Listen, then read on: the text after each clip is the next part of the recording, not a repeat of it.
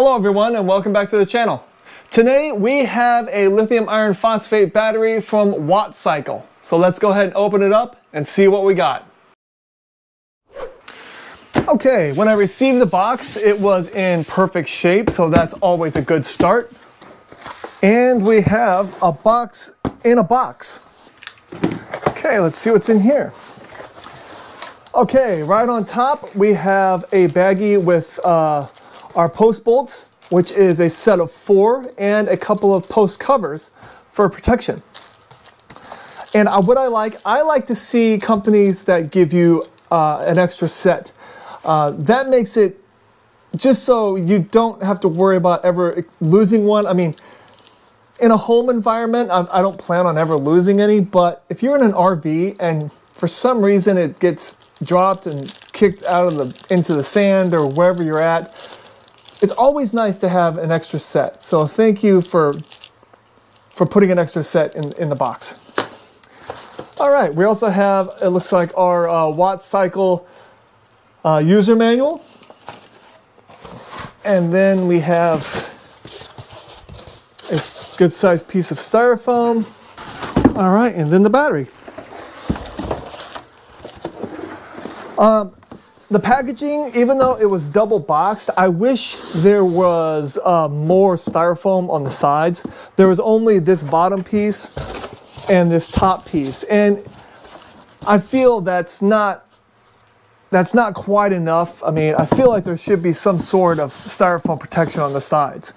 Even though the styrofoam does make it so it doesn't really move, uh, just that added protection is always nice. Okay, and here is what you get when you buy a Wattcycle 12 volt 200 amp hour lithium iron phosphate battery. You see that you have your two terminals uh, with covers. And like I showed you before, uh, the bolts, they are M8 bolts, so that's a good, nice standard to have. And it does come with like these nylon carrying straps, which makes it pretty easy to actually lift this battery up. Okay, a little bit about the physical dimensions of this battery.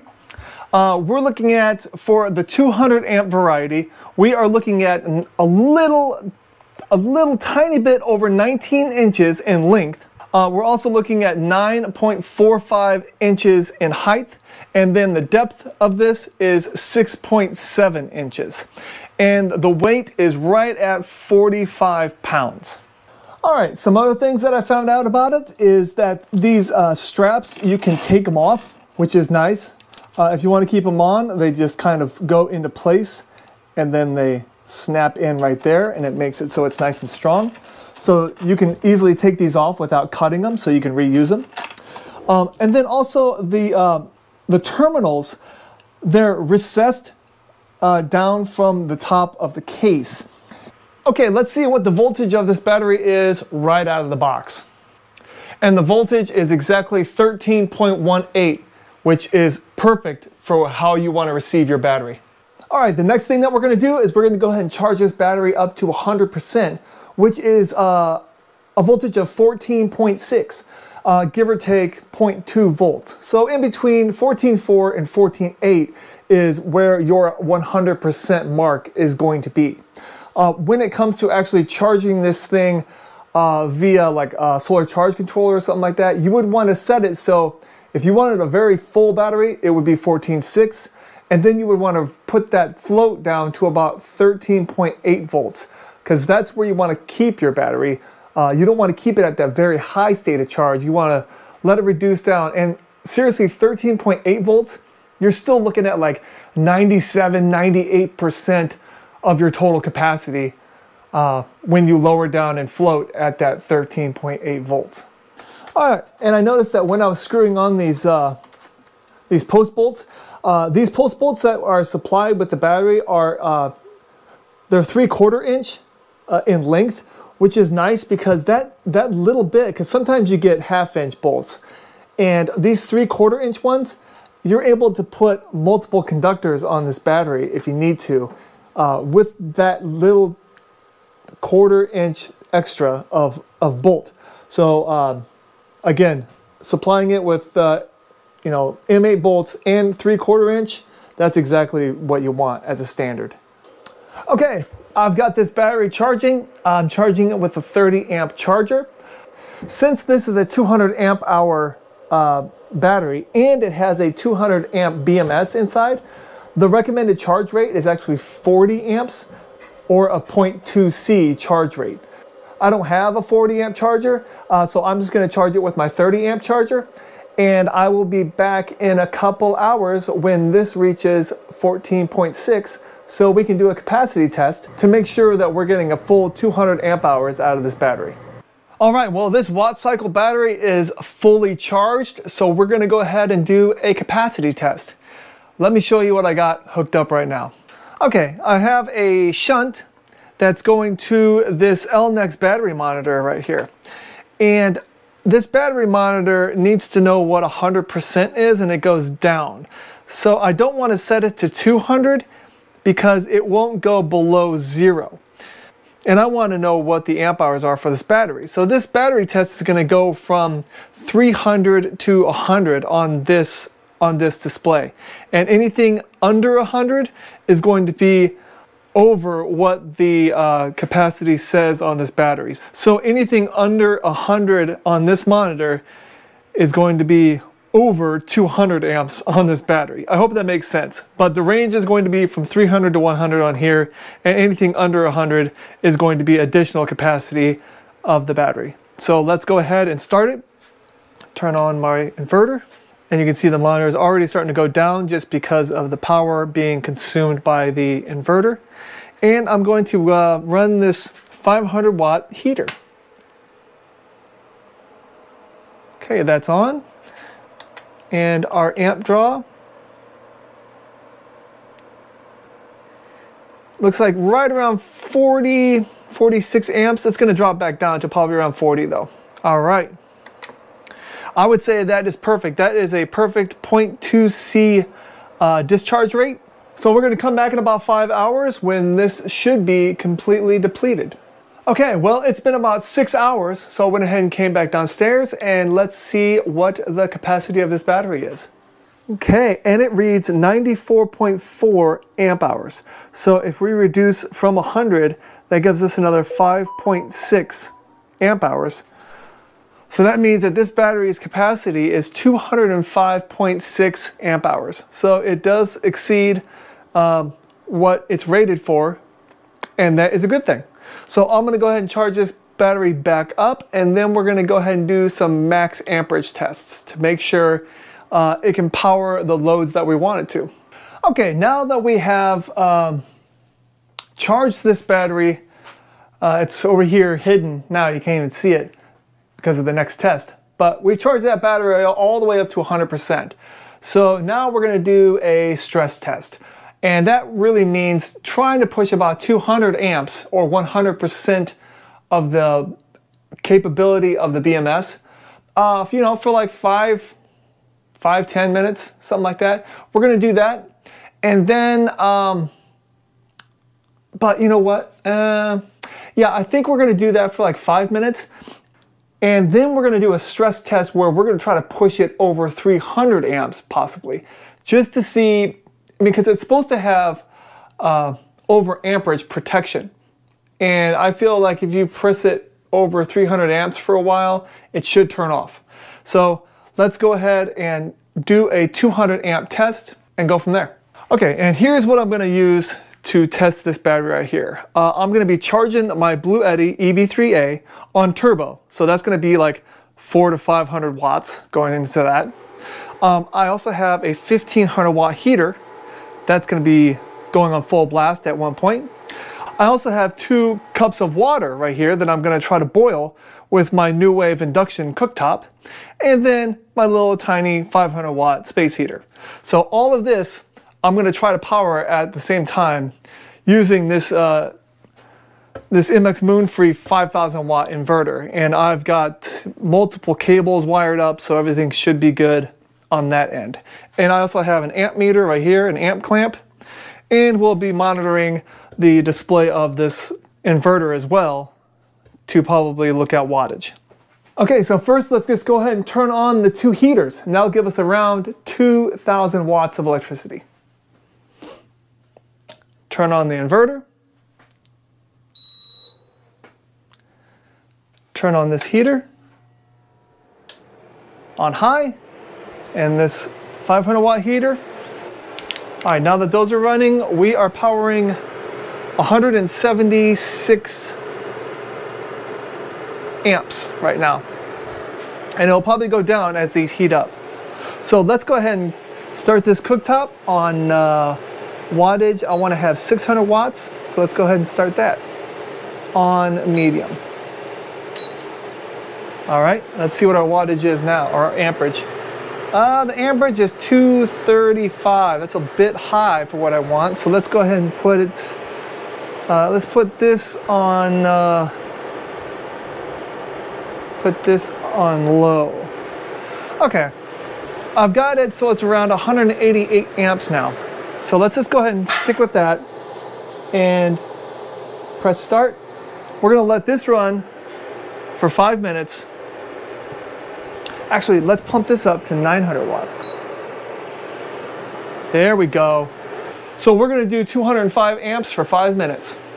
All right, well, it's been five minutes. It's actually five minutes and 10 seconds. And this has been, uh, this has been pulling 206 amps this whole time and nothing is warm. This battery has done this 200 amp test with no problem whatsoever. So let's go ahead and turn everything on high just to see if something turns off. So let's go ahead and do that. Okay, this heater is already on high. So let's go ahead and plug in the Bluetti. It's uh, set to charge at turbo. Okay, so that's cranking up. It's starting to charge at, uh, should be right around 400 watts. There we go, 400. So that pushed our amperage up to 230, 253 amps. Um, let's see. This water is boiling. This heater isn't even on. So let's go ahead and just turn that on. That's another 500 watts right there. Okay, so now that heater's on. That's boiling at 900 watts. This is a 1500 watt heater. My Bluetti is uh, charging at 430 watts. And so we are pulling 309 amps right now, 308 and all of this is running still. Yeah, and I was concerned for a second because I thought I saw smoke, but it's actually steam from my, uh, my induction cooktop, so no big deal. And look, it's already been, it's been seven minutes. Cabling is getting a tiny bit warm, but 311 amps now is what we're doing. Let's go ahead and turn this all the way up.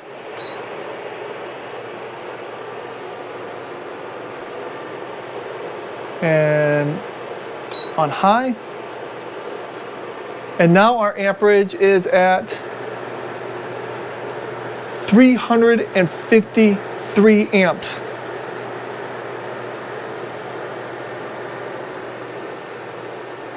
And our uh, inverter, our inverter reads that we are using 3,730 watts of electricity right now. My battery is down to 11.7, so it is pushing it to the limit. And it's been eight minutes now. So I don't, I mean, I feel like this battery should be shutting off. It's kind of worrisome. I mean, we got some boiling water, we got a 500 watt heater. I mean, we have a total of 3,700 watts of electricity, which is 355 amps for a 12 volt system. But the case of the battery is nice and cool. There's no hot spots at all. Take it, take it as you will. But yeah, I've been pulling 350 amps through this battery for the past couple minutes. And um, it's still doing it.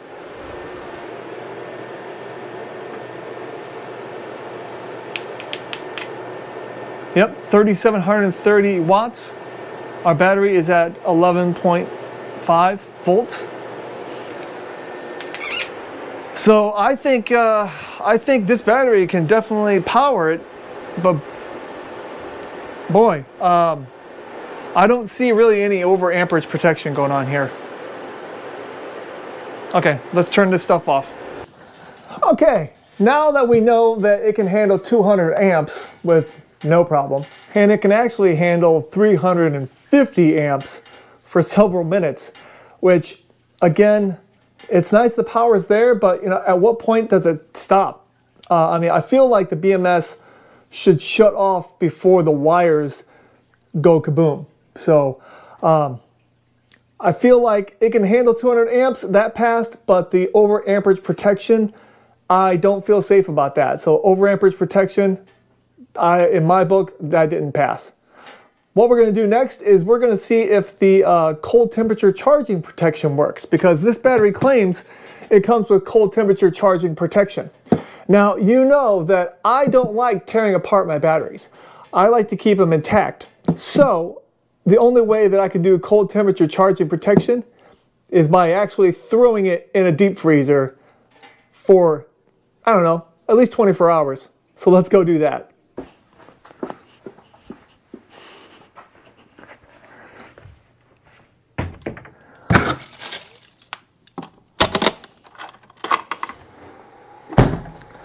Okay, uh, the time is now 1.34 p.m. Central Standard Time.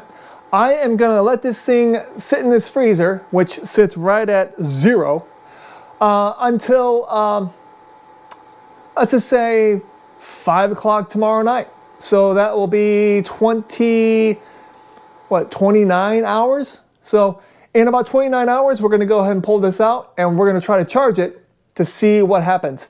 If it charges, then I'm going to give it a second chance because maybe after that big fat 350 amp test, um, it's still warm inside. I don't know. So if it still tries to charge, um, I'm going to go ahead and put it in for another 24 hours just to make sure that it's frozen solid and then we'll charge it then. So I'll see you tomorrow at 5 o'clock. Okay, well, it is now about uh, 10 till 6 p.m., so it's been almost 30 hours since this battery's been in this uh, freezing chest. So I'm to go ahead and pull it out, and we'll go ahead and charge it, and it shouldn't. It should not charge at all, so let's go ahead and give it a shot.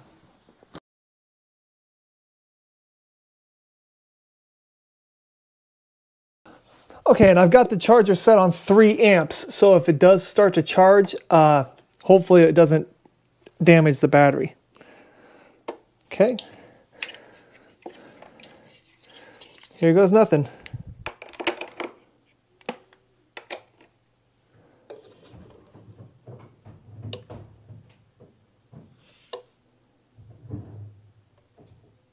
And just like that, off.